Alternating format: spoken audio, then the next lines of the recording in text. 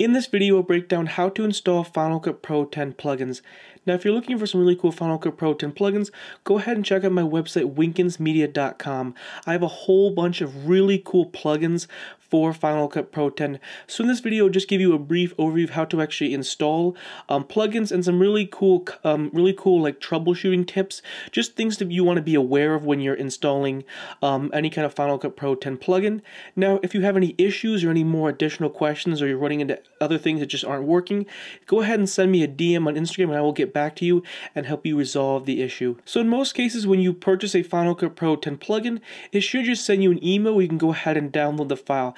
Now, most cases, what it's going to be, it's going to be a zip file. So the, the file is going to look like this. It's going to be plugin, effect, whatever, .zip. Now to unzip a file, all you have to do is just simply double click on the file and there you go and it should just open up the folder. Now this is the folder you want to actually go ahead and place in your motion template folder so don't don't install the, the zip file. Go ahead and double click the zip file and then it should open this folder and that's the folder you want to be placing again in your motion template folder. So to actually access your motion template folder, what you want to do is head over here to go, then go over here to home, and then you want to do is head over to to movies, so double click on movies, and you should have a folder called motion templates. Now if you don't have this folder, you can also like right click and create a new folder, but this folder should already be pre-built once you actually purchase um, a Final Cut. So again, this folder should already be here, and if it's not here, you can go ahead and recreate and create it by yourself. Now if the folder is not here and you have to create the folder completely from scratch, what you want to do is you want to right click on the folder and go over here, click on get info, and you want to make sure it says motion templates localize under names and extensions. This is really important. So make sure, so double check and make sure um, that is correct. So we can go ahead and just exit out of it. Now, if we open up the folder, as you can see, here are all the folders. And again, if these folders are, aren't here, you can go ahead and right click and just like create a new folder. Now, for each one of the folders, if I go ahead and, and right click on generators, click on get info, as you can see, it says generators.localize or transitions.localize, effects.localize, titles.localize. This is really important under names and extensions. This dot localized thing has to be there. So it, it has to be there for each one of these folders. You can go ahead and just check all the folders to make sure that also has the dot localized thing. Now if we go ahead and open up each one of these folders, as you can see, see here are the folders. Now we go ahead and open up like the film matte overlays. As you can see, if we open up, it has this icon. Now this icon is for a generator. So if it has this icon, this is for a generator. So if we go back out and then go to effects and we open up one of the RN shakes, open up Earthquake. This is what the effect icon looks like. Now head over here to the titles. If we open up one of the titles, so do like motion blur, and then right and open it up and see, it should have this icon for a title. Now if we go to transitions and open up one of the transitions right here, it's ink bleed transition, this is the icon it should have. So you want to make sure those icons match up with the different folders. So each each folder is very specific to which it can go into. So like if a plugin is built for a generator, it has to go in the generator folder. If it's for the title, it has to go in the title folder. So it's very specific to the different folders. So just make sure you go ahead and read the description of each product and make sure you're placing it in the right folder. So as you can see right here, here are all again, here are all of the effects. So what you want to do is you can see, so in motion template folder, effects, generators, titles, and transitions. So what you would do is you want you want to figure out where your actual folder goes. So go ahead and read the description of the of the actual product you bought, or go ahead and watch the video. So what you want to do is, let's say this plugin right here is a transition.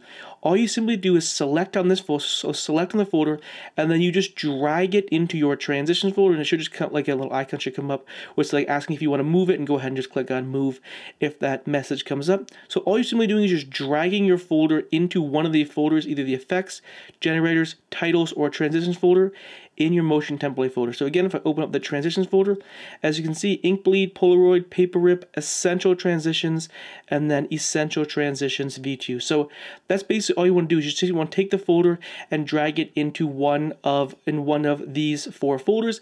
And then I'm going to go ahead and open up Final Cut and show you how to locate or find each one of these folders. Now, if you're having issues with installing plugins, what I recommend is doing two things. Either updating Final Cut because only certain plugins are only going to work with certain versions of Final Cut. And also, before you install plugins, I would highly recommend closing out Final Cut, placing the folder into one of these folders in your Motion Template folder, and then restarting Final Cut. And that's pretty much it. So we go ahead and head out into your Motion Template folder, and that's basically what you do. So again, Motion Template folder, and then drag that folder into whichever folder it's supposed to be in. And again, most product descriptions, most YouTubers will tell you whether it's either an effect, a generator title, or a transition position. So once you install the plugin, you want to just again reopen Final Cut. And again, if there's some sort of issue or it's still not working and you let you've closed out Final Cut, installed the plugin, reopened it multiple times, and it's still not working, I would go ahead and again just update Final Cut. So again, the reason that it probably aren't working is you need to either update Final Cut, it's in the wrong folder, or you just simply need to restart Final Cut or refresh Final Cut. Now I'm gonna go ahead and show you where to locate each one of the different like um, the different folders in your motion template. So what you head over here to titles and generators. So er, er, as you can see right here, here are your titles. So here would be all of your title plugins. So as you can see, the motion blur plugin, the adjustment layer plugin, and the, the, this is the actual plugin that I built, the creator bundle. So again, as you can see, titles, so all, everything you put in that titles folder is going to be right here, and then here it also go to creator bundle, and let's say we want to use one of these titles, Polaroid frame. In most cases, the titles, all you want to do is take the, is just select on the title you want, and then just drag it on top of your actual clip right here. So you see, I just uh, just dragged on top of my clip. And what you want to do is you select on one of your, so this title plugin or whichever ones you end up using. Then usually want to, what you want to do is you want to head over to this icon right here. And then here are all the published parameters. You see, we can increase the scale of the drop zone. This, as you see, we can just mess with the title. So that's all you want to do. Just drag one of these titles on top of your clip head over to this icon and as you see here are all of the different like settings you can kind of like do to really kind of like optimize the plugin so we go ahead and just simply delete this one.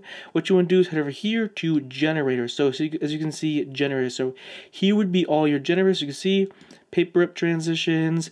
Now this film matte overlay is for sale on my website. So you see all of your generators, anything you put in the generator folder is going to be here.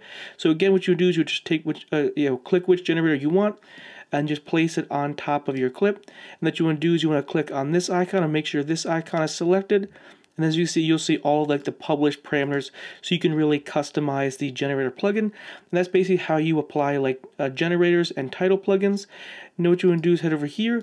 The next one is head over here to the effects. So here are all of your effects. So we scroll down here are all of the effects. So the RN shake, the RN animation, and then my plugin, the ultimate bundle. So all of your effects you put in your effects folder are going to be here. So let's say you want to apply like the glint. All you want to do is just drag the effect onto your actual clip. We can exit out of the effect window. And then as you can see, now we can just we can just mess with uh, we can just mess with the actual like plugin. So we can mess with the exposure. We can mess um, with the actual tint. We can mess with um, the colors. You can see you can really kind of mess with everything. We can go to like the intensity and you see, so see we can go through and mess with the different colors and then each of these are going to have the different settings. So the glow amount, there you go. As you can see I'm customizing it or if I want to apply a different effect, you can go ahead and apply like the dazzle, the CRT, offset. These are a whole bunch. Let's, let's apply this.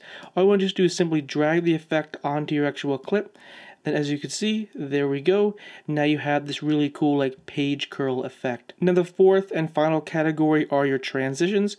So let's say we have these clips right here. We want to apply a transition.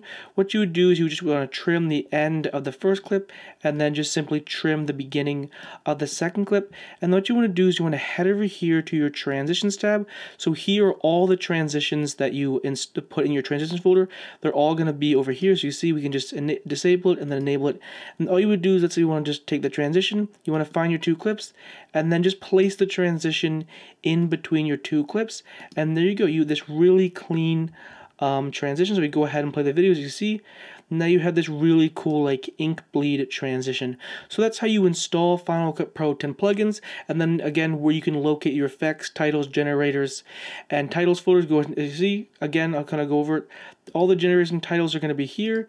And then effects, and then transition. So you can go ahead and just locate what you can just locate whichever ones you're trying uh, to find. There you go. That's basically the simplest explanation. Again, if you have any questions, go ahead and send me a DM on Instagram.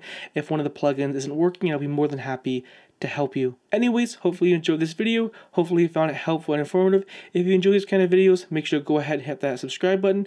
And again, if you're looking for some really cool Final Cut Pro 10 um, plugins, go ahead and check out my website, winkensmedia.com. I have a whole bunch of really cool bundles that you can use in Final Cut, which is some really cool uh, effects. And again, I'll see you in the next one. Peace.